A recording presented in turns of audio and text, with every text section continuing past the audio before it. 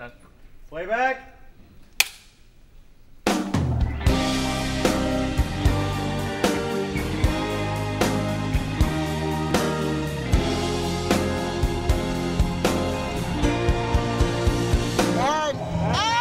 Okay, you guys, so we're here actually on the set of One Tree Hill for this episode, and even though it looks like we're outside, we are in fact on a stage. And uh, all this stuff is basically exactly what we had outside by the stage at the USO show. Got these festive lights hanging everywhere. This is like the tent where they had like catering and food, and these are the tour buses that were parked behind the stage at the show. But it's here in Wilmington for us to use to shoot so we don't have to drive all the way out to the base where we played the USO show every single day. The other half of the episode was somewhere totally different. And you would never know unless you heard it from me.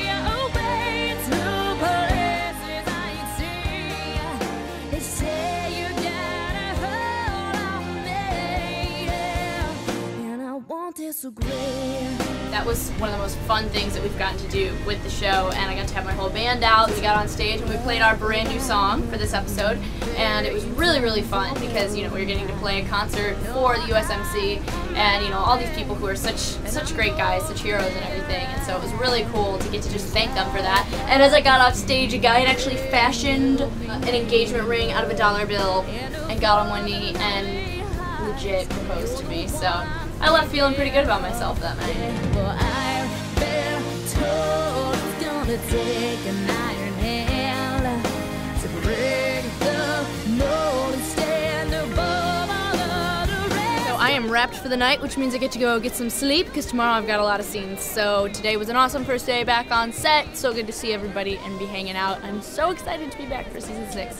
Totally awesome. So I'll show you guys around some more tomorrow and you get to see a little bit more of the action. Got some lines and stuff, so it'll be fun. Thanks for stopping by.